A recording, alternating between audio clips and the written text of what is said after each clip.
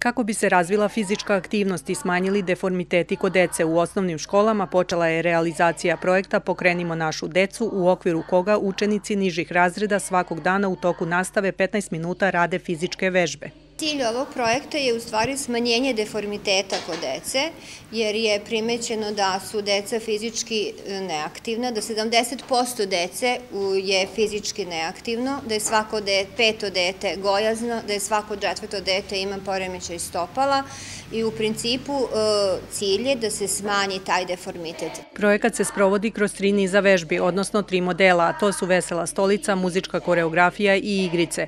U osnovnoj školi Rasko Nemanjić Sveti Sava u Novoj Pazovi pitali smo učenike da li vole da vežbaju i zašto je to korisno. Pošto mi puno vremena provodimo za tabletom, kompjuterom, telefonom i najčešće za televizorom, ove vežbe nam dobro dođu pošto tako kroz igru i zabavu prosto možemo da ispravimo svoju kičmu, da budemo aktivni. Vežbe nam ne padaju teško, ali ipak je zabavno zato što smo zajedno nekako, svi smo zajedno i onda je to lepo.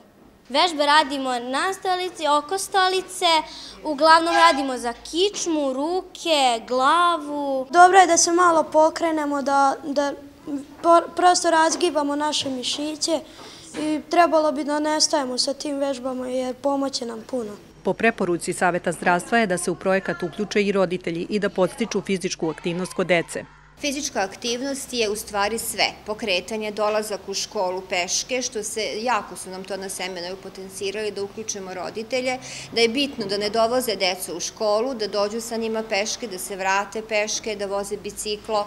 U stvari dete treba da se kreće. Sve osnovne škole iz Staropazovačke opštine imale su po jednog predstavnika na seminaru u Novom Sadu koji su obučeni kako da sprovode te vežbe, a imali su i zadatak da posle seminara održe predavanje u svojoj školi da bi se i drugi učitelji uputili u projekat. Organizatori ove akcije su Ministarstvo prosvete i tehnološkog razvoja i kompanija Aqua Viva.